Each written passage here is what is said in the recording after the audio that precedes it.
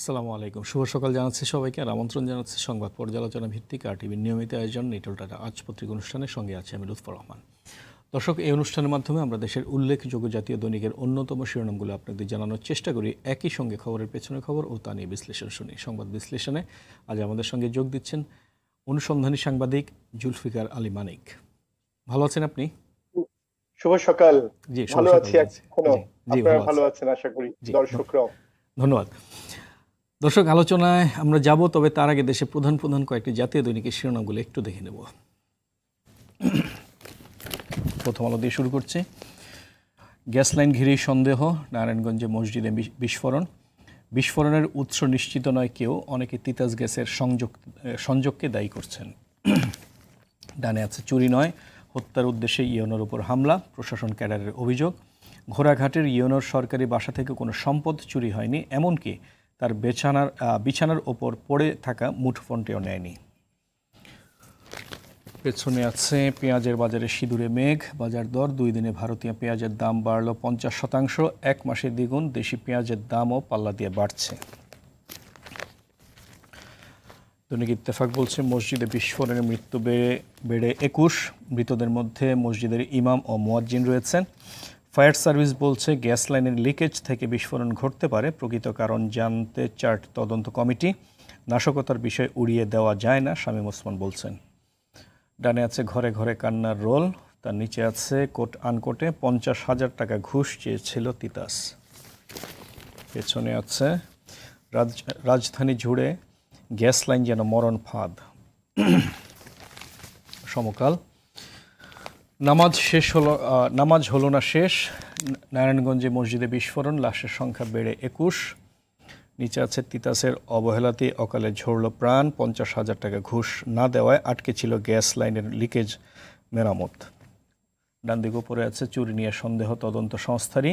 গ্রেপ্তার দুজন সাত দিনের রিমান্ডে আক্রান্তের শারীরিক অবস্থা কিছুটা স্থিতিশীল ইয়েনো ওয়াহিদা আক্রান্ত। কালের কণ্ঠ। নারায়ণগঞ্জে মসজিদে বিস্ফোরণে দগ্ধ একুশ জনের মৃত্যু অন্যরা সংকটে। শেখ হাসিনা জাতীয় বার্ন ইনস্টিটিউটে আহাজারি, স্থানীয় বিদ্যুৎ ও গ্যাস অফিসের কর্মকর্তা সহ মসজিদ কমিটির বিরুদ্ধে মামলা। চারটি তদন্ত কমিটি গঠন। ডান দিকে আছে ইয়নের উপর হামলা, ক্ষমতাসীন অনেকের চক্ষুশুল ওয়াহিদা। পেছনে আছে দল থেকে দূরে বিএনপি সমর্থক ব্যবসায়ীরা। বেশ কয়েকজন প্রভাবশালী নেতা এরই মধ্যে পদত্যাগ করেছেন। অন্যদের দলীয় কর্মকাণ্ডে প্রকাশ্যে অংশগ্রহণ কমে গেছে। যুগান্তর। নারায়ণগঞ্জের মসজিদে বিস্ফোরণে একুশ প্রাণহানি, এমন মৃত্যু দেখেনি তল্লাবাসী। বার্ন ইনস্টিটিউটে আশঙ্কাজনক ষোলো জন। তিতাস গ্যাস কর্তৃপক্ষের অবহেলায় দায়ী এলাকাবাসীর অভিযোগ। দগ্ধদের সর্বোচ্চ চিকিৎসা দেয়া হয়েছে স্বাস্থ্য সচিব। নিচে আছে, স্বজনদের চোখের সামনে ঝরছে দগ্ধদের প্রাণ, বাঁচার আকুতি। ভাষা নেই সান্ত্বনার। পেছনে আছে তেষট্টি দিনে উনিশ প্রকল্প সংশোধন, ব্যয় বেড়েছে সাড়ে তেরো হাজার কোটি টাকা। ব্যক্তিগত গাফলিতিতে এটি হয়েছে কিনা খতিয়ে দেখা হবে, পরিকল্পনা মন্ত্রী বলছেন। সবশেষে না দেশ রূপান্তর তিতাসের লোভের বলি মসজিদের মুসল্লিরা, হাইলাইটসে বলা আছে, পঞ্চাশ হাজার টাকার জন্য এত প্রাণ তিতাসের বিরুদ্ধে হত্যাকাণ্ডের মামলা চান স্থানীয়রা। ফ্লোরের নিচ দিয়ে কীভাবে পাইপ গেল, মসজিদের নির্মাণ ও পাইপলাইনের বৈধতা নিয়ে প্রতিমন্ত্রীর প্রশ্ন। বারবার তিতাসকে জানিয়েও প্রতিকার পায়নি অভিযোগ মুসল্লিদের। নিচে আছে, মাঠ প্রশাসনে আবদার না রাখলে হামলা হয়রানি। সরকারি কর্মকর্তা কর্মচারীদের ওপর হামলার বেশিরভাগ ঘটনা ঘটাচ্ছে শাসক দলের নেতাকর্মীরা। হামলাকারীরা ধরা ধরা ছোঁয়ার বাইরে বাইরে অনেক কর্মকর্তাই থাকেন আতঙ্কে। পেছনে আছে এবছর আরও উনিশ লাখ মৃত্যুর সংখ্যা। ওয়াশিংটন ইউনিভার্সিটির তথ্য কোভিড নাইন্টিন প্রসঙ্গ সবশেষে the daily star, gas leak behind mosque blast suspects fire service death toll climbs to 20. নিচে আছে probe to Sinha murder call recordings unavailable. জনাব মানিক, আপনি শুনলেন পত্রিকাগুলোর শিরোনাম নারায়ণগঞ্জের তল্লায় মসজিদে যে হৃদয় বিদারক ঘটনাটি ঘটে গেল একুশ জন গতকাল পর্যন্ত একুশ জনের প্রাণ গিয়েছিল, সকালবেলা আরও তিনজন মারা গিয়েছে। এবং এই সংখ্যা আরও বাড়তে পারে বলে চিকিৎসকরা আশঙ্কা করছেন। অত্যন্ত দুঃখজনক ঘটনা। এ অবস্থায় একটি অভিযোগ উঠেছে যে গ্যাস লিকেজের কথা বলা হচ্ছে যে গ্যাস লাইনটি মসজিদের ভেতর দিয়ে গিয়েছে মেঝের নিচর নিচ দিয়ে গিয়েছে বলা হচ্ছে। সেটাকে সরিয়ে নেওয়ার জন্য মুসল্লিরা বেশ কয়েকবার এই তিতাসকে জানিয়েছিল, কিন্তু তারা নাকি পনেরো পঞ্চাশ হাজার টাকা ঘুষ চেয়েছিল সেটা সরিয়ে নেওয়ার জন্য। সেই ঘুষেরই বলি হলো এতগুলো প্রাণ। কি বলবেন আপনি? এটা গতকাল থেকে বিষয়টা আলোচিত হচ্ছে। সোশ্যাল মিডিয়াতেও যথেষ্ট আলোচনা হচ্ছে। আজকে মেইন স্ট্রিম মিডিয়াগুলো অনলাইন বা পত্রিকাগুলো তো আসলো হেডলাইনে তো আমি আমি আসলে ঠিক যেইভাবে শিরোনামটা বা যেইভাবে অ্যাঙ্গেলটা অনেকে ফিক্স করতে চাচ্ছেন যে পঞ্চাশ হাজার টাকা ঘুষের বলি হয়েছে সবাই এই প্রাণগুলো, আমি ব্যক্তিগতভাবে ঠিক এইভাবে বলার পক্ষে নই। কারণ পঞ্চাশ হাজার টাকা ঘুষ দেয়নি। আমার কথা হচ্ছে যে ঘুষ তো বাংলাদেশে একটা খুবই কি বলে, প্রচলিত একটা জিনিস। এটা অত্যন্ত স্বাভাবিক ব্যাপার। মানে আমরা ঘুষ, দুর্নীতি, অপরাধ সহনশীল একটি সমাজ গড়ে তুলেছে সবাই মিলেই। ফলে এটা কোনো নতুন কিছু নয়। কিন্তু আমার প্রশ্ন হচ্ছে যে, ঘুষ দিতে পারিনি আমি বা ঘুষ দেইনি, আমি মানুষকে ঝুঁকির মধ্যে নামাজ পড়াবো কিনা? এটা একটি এই প্রশ্নটা কিন্তু কেউ তুলছেন না। তুলছেন না ভয়ে। কারণ ধর্মীয় ব্যাপারে তো কথা বলতে সবাই আমরা ভয় পাই। এটা খুবই স্বাভাবিক। কিন্তু আমার কথা হচ্ছে যে, যখন কোথাও কোনো ঝুঁকি তৈরি হয় সেই ঝুঁকিটা আমাদের কাজ হচ্ছে দূর করা। দূর করার জন্য যার যা সহায়তা লাগবে, তার তার সহায়তা চাওয়া। কিন্তু সহায়তা যদি আমি না পাই, আমি মানুষকে ওই ঝুঁকির মধ্যে রাখব নাকি আমি ঝুঁকিটা এড়ানোর জন্য যতদিন ঝুঁকি দূর না হচ্ছে, ততদিন আমি মানুষকে নিরাপদ জায়গায় রাখব? অর্থাৎ আমার আমি কয়েকটা প্রশ্ন উত্থাপন করতে চাই এটার সাথে। ডেফিনেটলি তিতাস কাজটা করেনি, ঘুষ, এটা তো অপরাধ, এটা অন্যায়, এটার জন্য যদি তদন্ত করে প্রমাণ হয়, সেটার ব্যবস্থা নেওয়া হবে। কিন্তু এরকম তদন্ত করলে সারা বাংলাদেশ জুড়ে কোটি কোটি কোটি কোটি ঘুষের ঘটনা তদন্ত করতে হবে। আমার প্রশ্ন হচ্ছে যে, মসজিদটি যেখানে স্থাপন করা হয়েছে, তিতাস গ্যাস পাইপলাইনের উপরে মানে সেইটিরও মানে কতটুকু বৈধতা আছে সেই জায়গায়, একটি গ্যাস পাইপলাইনের উপরে, এটা অনেক পুরনো মসজিদ, কিন্তু আমার কথা হচ্ছে তার জায়গা। ওইভাবে করা এবং যখন গ্যাস লিক হচ্ছে, তখন তিতাস সারাচ্ছে না, কিন্তু নামাজ চলছে।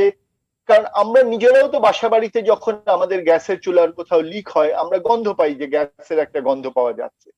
ফলে আমি মনে করি শুধু ঘুষের ব্যাপারটা না, এটার একটা পূর্ণাঙ্গ অনুসন্ধান হওয়া উচিত যে আসলে কার কোথায় কতটুকু দায় আছে। আমরা এক টুকরো তথ্য নিয়ে যদি ঝাঁপিয়ে পড়ি তাহলে আমার মনে হয় যে মানুষের চিন্তা এবং মাইন্ডটাকে আমরা একদম একটা জায়গার মধ্যে আটকে নিয়ে যাচ্ছি। এখানে পুরো ব্যাপারটা বের করে আনা উচিত। কারণ হচ্ছে ঘুষ ছাড়া তো আমি আপনিও আমি আপনার কথা বলতে আমি নিজেও তো অনেক সরকারি অফিসে ঘুষ ছাড়া আমার একদম ন্যায্য প্রাপ্য কাজও আমি করাতে পারিনি। কিন্তু আমার কাজটা তো করাইতে হবে এটাই হচ্ছে সবচেয়ে বড় সত্য কথা তাই নয় কি? না না আমার কথা হচ্ছে যে আমার কথা হচ্ছে কেন আমি আমার কথা হচ্ছে আমি যদি ধরেও নেই যে ইয়েস এই তথ্যটি সত্য যে তিতাস পঞ্চাশ হাজার টাকা ঘুষের জন্য করেনি আমি জানি তিতাস সেটা অস্বীকার করবে এখন কিন্তু অস্বীকার করলেও তিতাস বলেন ওয়াসা বলেন আপনি বিদ্যুৎ বিভাগ বলেন আমাদের যত এরকম সেবা খাত সবার সম্পর্কে আমাদের যুগে যুগে এই ধারণাই প্রতিষ্ঠিত হয়েছে বদ্ধমূল ভাবে যেগুলি প্রত্যেকটি চরম ভাবে দুর্নীতিগ্রস্ত প্রতিষ্ঠান এখানে এক কোনো টাকা ছাড়া কাজ হয় না। রাইট আপনি পা ফেললি টাকা, যেমন রাজুক সম্পর্কে বলা হয়, রাজুকের বিল্ডিং এর দেয়ালের ইটও নাকি টাকা খায় আদারওয়াইজ আপনার কাজ হবে না।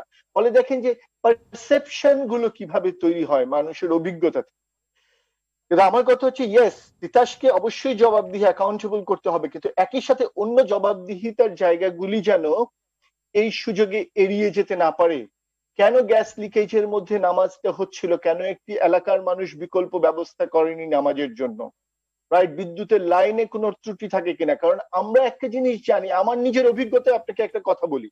আমি যদি একটি জমি দখল করতে চাই এই দেশের যে কোনো জায়গায় সবচেয়ে সহজ উপায় হচ্ছে আমি ওখানে একটি ধর্মীয় কোনো প্রতিষ্ঠান গড়ে তুলবো, অর্থাৎ একটি মসজিদ বা মাদ্রাসা বা মক্তব। তো সেইটাকে উছিলা করে আমি জমিটাকে নিয়ে নিতে পারি, আমি দখল করতে পারি। এক ঘুষের টাকার কারণে তিতাস কাজ করেনি পঞ্চাশ হাজার। ঘুষের টাকা দিয়ে তো মসজিদ তৈরি হচ্ছে। ডোনেশন যাচ্ছে, কোটি কোটি টাকা, লক্ষ লক্ষ টাকা মানুষের ঘুষের ব্ল্যাক মানি তো সেই জায়গাটাও তো প্রশ্ন করতে হবে যে আপনি দখল করা জমি ব্ল্যাক মানি ইউজ হচ্ছে কিনা? অ্যাকাউন্টেবিলিটি কোথাও নাই বাংলাদেশ।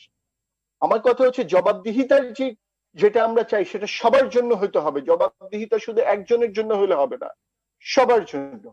সেই জবাবদিহিতার জায়গা প্রতিষ্ঠিত করার প্রথম কাজ হচ্ছে এটিকে একটি পরিকল্পিত শহর বানাতে হবে। অর্থাৎ আমার ইচ্ছে হলো আমি এখানে যা খুশি করে ফেলতে পারি, আরেকজনের ইচ্ছা হলো তাকে করতে দিবেন না, এটা তো হতে পারে না। পরিকল্পনা, কোথায় আমার মসজিদ হবে, কোথায় মন্দির হবে, কোথায় গির্জা হবে, কোথায় মার্কেট হবে, কোথায় বাণিজ্যিক জায়গা হবে, কোথায় আবাসিক হবে, কোথায় স্কুল হবে, কোথায় কলেজ হবে, বিশ্ববিদ্যালয়, কোনো পরিকল্পনা নাই। যার যা খুশি এই শহরে তাই করতে পারে। শুধু এই শহরে নাই দেশেও তাই করতে পারে তাই না? কৃষি জমি হয়ে যাচ্ছে হঠাৎ নগর হয়ে যাচ্ছে ইচ্ছা হলো ইচ্ছা হলো আপনি একটা গ্রামের অর্ধেকটা কিনে আপনি বললেন কাল থেকে এটা অমুক সিটি বাট পয়েন্ট ইজ এটা টাকা থাকলে টাকা থাকলেই এই দেশে সব করা সম্ভব এটা হচ্ছে সত্য কথা।